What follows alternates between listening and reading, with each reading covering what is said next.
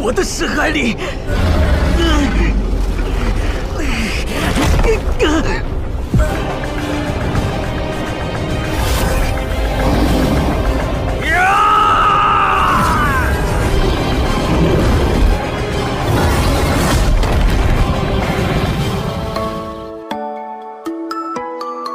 Halo Sobat Ringkas Film, kabar kalian gimana hari ini?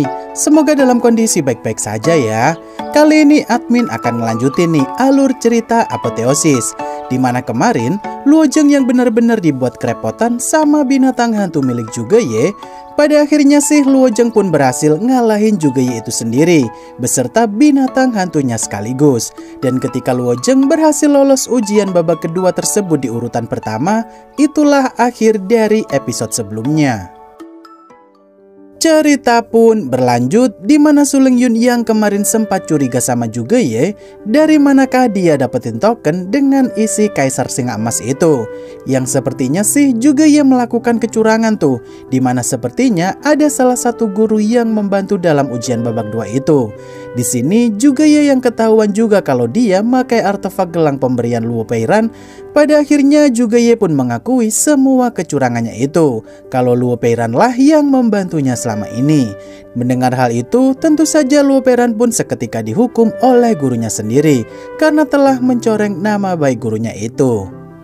Luojeng yang kala itu berterima kasih kepada Suling Yun karena secara tidak langsung sih Suling Yun membantu dirinya dan Mochan dari ketidakadilan juga Ye. Saat itu sih Luojeng dan Mochan memohon untuk diperbolehkan masuk ke puncak gerimis untuk menimba ilmu di bawah bimbingan Suling Yun. Walau sebenarnya Suling Yun tahu benar nih jika Luojeng masuk ke ujian dengan mencuri token peserta lain. Namun pada akhirnya sih Luojeng dan Mochan pun diterima jadi murid puncak gerimis. Karena bakat serta kebaikan mereka berdua dalam membantu sesama murid saja udah bisa diacungi jempol.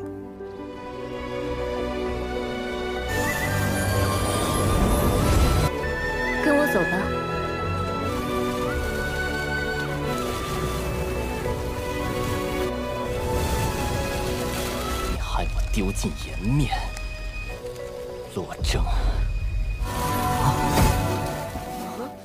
Luojeng dan Mochan yang diajak oleh Suling Yun keliling puncak gerimis dari tempat latihan sampai mereka akan beristirahat. Kala itu sih Suling Yun ngasih tahu aturan di sekte tersebut tuh. Kalau murid ke 33 puncak di sekte Yun bersaing satu sama lain untuk jadi yang terkuat. Di mana mereka bisa menyerang murid puncak lain asal tidak menghabisinya. Maka bisa dianggap sebagai latihan aja.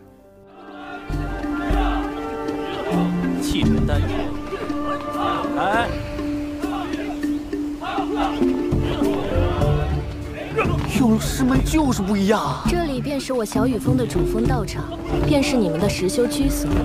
罗师兄，来了。Malam harinya Luojeng yang kepikiran sama adik perempuannya itu yang saat ini masih tak bisa dia temukan. Saat itu sih Luojeng duduk termenung tuh sambil mengatur strategi untuk pergi ke tempat sang adik. Setelah itu Suling Yun yang ngajak ngobrol Luojeng kenapa dia termenung seperti sedang merindukan seseorang. Di momen itulah Luojeng pun ngasih tahu tujuan sebenarnya tuh kenapa dia masuk ke Sekte Yun. Kalau dirinya mau nyari adiknya yang sekarang berada di Gunung Api Penyucian.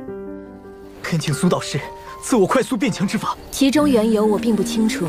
罗烟虽被关在炼狱山，不过你也不用着急，根本不是你这外门弟子能够。我知道你救人心切，所以我要找到炼狱山。Suling Yun yang akhirnya mulai paham akan tanggung jawab Lojeng sebagai kakak yang harus nyelamatin adiknya itu. Pada akhirnya sih Suling Yun pun ngasih tahu Lojeng tuh kalau adiknya saat ini bukan sedang dihukum, melainkan hanya ditahan aja karena suatu insiden yang tidak diketahui oleh Suling Yun. Jika Luojeng mau pergi ke gunung api penyucian itu, murid luar seperti Luojeng saat ini tak bisa pergi ke sana. Namun jika Luojeng bisa ningkatin ranahnya itu, maka suatu saat sih Luojeng pasti bisa ke sana dengan kekuatannya sendiri. 恳请苏导师赐我快速变强之法。其中缘由我并不清楚。罗烟虽被关在炼狱山，不过你也不用着急，根本不是你这外门弟子能够。我知道你救人心切，所以我要找到炼狱山。Luojeng yang diajak oleh Suling Yun pergi ke pavilion Tianshu ternyata setiap murid baru diperbolehkan tuh untuk mendapatkan satu keterampilan khusus. Dari tingkat kuning yang paling rendah, di atasnya adalah tingkat hitam, tingkat bumi dan tingkat langitlah yang paling tinggi. Tapi di sini ketika Luojeng merasakan ada tekanan kuat dari atas pavilion, ternyata ada keterampilan tingkat sento yang dari segi tingkatannya aja masih belum diketahui. 天阶更高级的功法。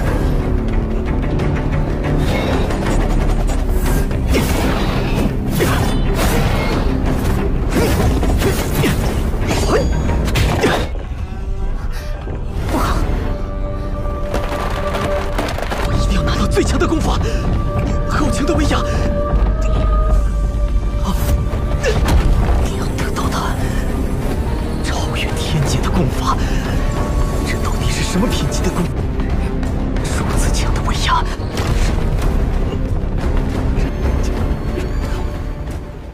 Luojeng yang tiba-tiba masuk ke dalam lautan kesadarannya sendiri, saat itu sih ada formasi aneh tuh yang tiba-tiba membentang luas di dalam lautan kesadarannya itu. Di mana ternyata ada sosok monster penghukum surga yang melindungi keterampilan tingkat Saint itu dan mencoba untuk menghabisi Luojeng melalui alam bawah sadarnya sendiri. Namun karena di dalam tubuh Luojeng ada naga azur, maka dia pun tak akan membiarkan Luojeng mati begitu aja.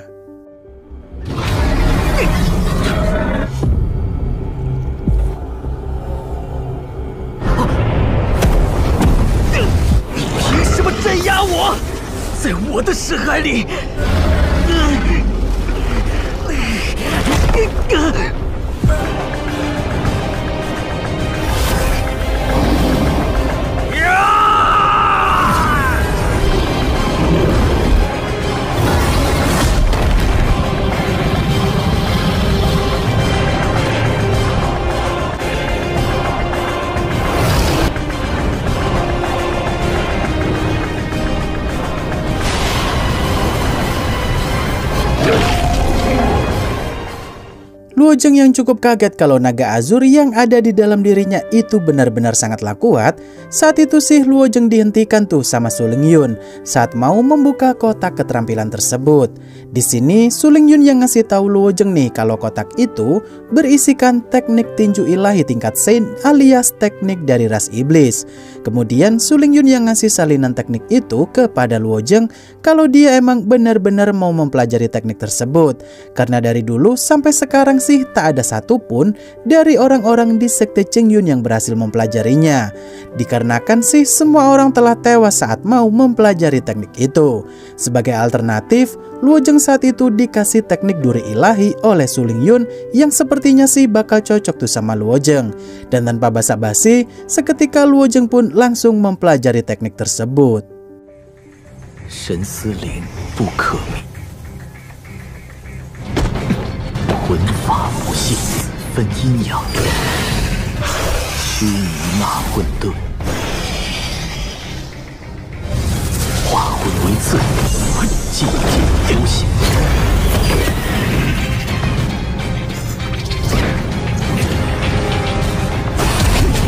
精神，神思灵不可名。Setelah Luojeng berhasil menguasai teknik duri ilahi itu dengan begitu mudahnya, Sin pun beralih ke tempat Suling Yun yang saat itu sedang berendam di air hangat tuh. Di mana ketika Suling Yun mengingat masa lalunya, mulailah dijelasin tuh kalau ternyata Suling Yun merupakan putri dari Kekaisaran Fantien, di mana dia dan adik laki-lakinya saat itu sih didesak oleh orang kepercayaan ayahnya tuh. Kalau adik laki-lakinya itu belum bisa jadi penerus sang raja karena masih bocil. Dengan kata lain sih, Suling Yun menganggap kalau para tetua di kerajaannya sendiri itu mau mengambil alih kekaisaran sang ayah.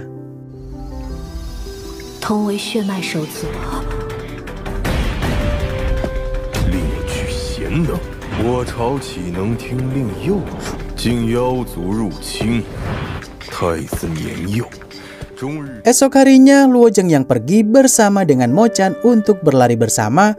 Mereka saat itu sih bertemu dengan murid sekte Qingyun yang bernama Zhang Wuxian.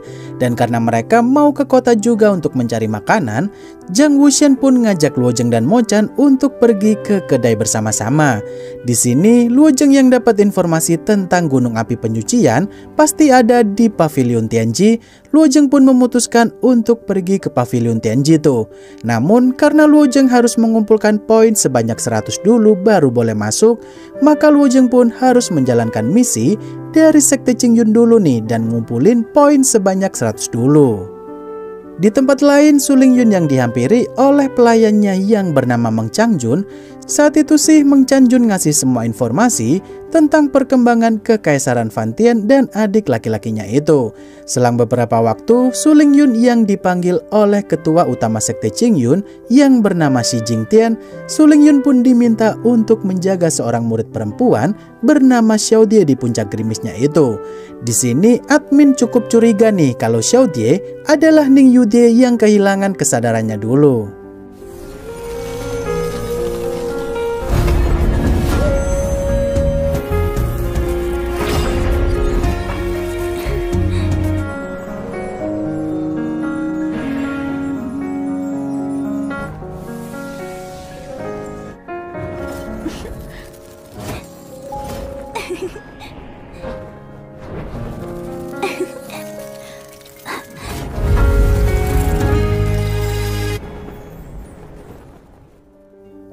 Sekte Xi Jingtian yang meminta Suling Yun untuk menjadikan Xiao Die sebagai muridnya, saat itu sih Suling Yun diminta untuk jangan mengekang Xiao Die tuh, alias semua apa yang dimau oleh Xiao Die tidak boleh ditolak atau dihalang-halangi.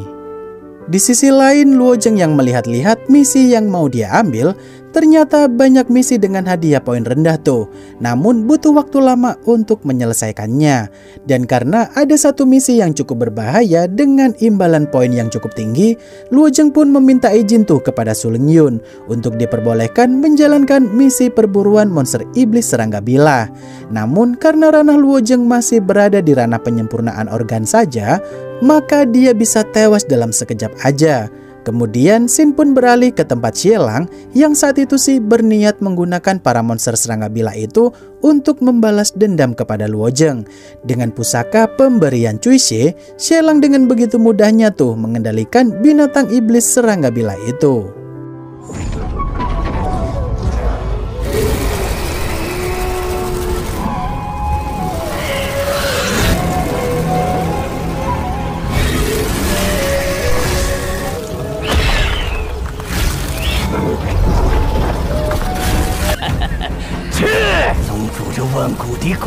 厉害！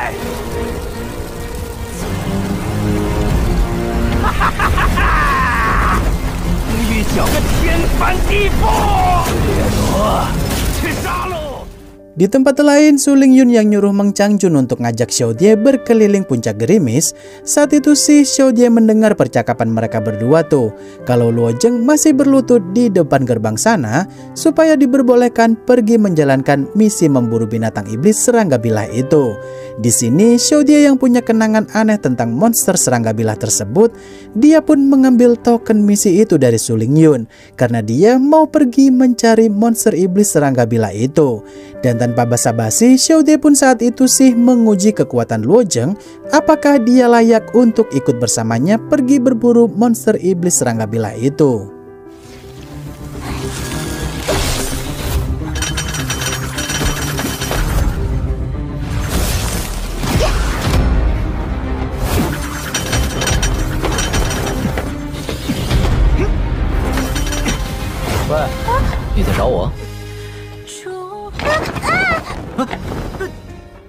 ？Luo Zheng yang tak sengaja menggendong Xiao Die saat dia mau jatuh barusan, momen itu pun membuat mereka berdua salting tuh sama keadaan barusan. Di sini, Suling Yun pun akhirnya menyetujui Luo Zheng tuh untuk pergi menjalankan misi yang dia mau itu bersama dengan Xiao Die. Dan ketika Meng Changjun diutus juga oleh Suling Yun untuk melindungi mereka berdua dalam misi itu, sayangnya adegan tersebut adalah ending dari episode kali ini. Wah, kira-kira Luojeng nanti bakal ketemu lagi nggak tuh sama Sielang? Hmm, tunggu saja ya kelanjutannya bakal admin upload secepatnya. Akhir kata, terima kasih udah nonton sampai akhir dan sampai jumpa di video selanjutnya. Bye-bye.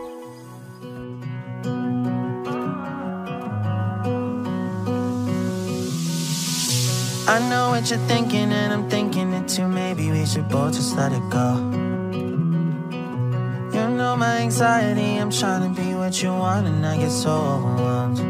Every time I climb up your walls Grab my hand and you let me fall. I'm still standing here through it all but you know.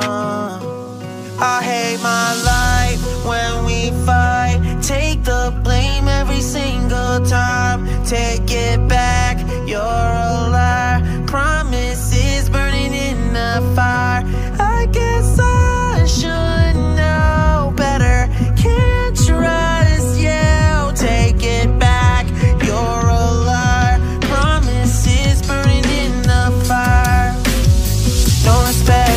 with me in a text. You'll do anything to prove you're on your own Picking fights, stubborn even when I'm right You know you never let it show. Every time I climb up your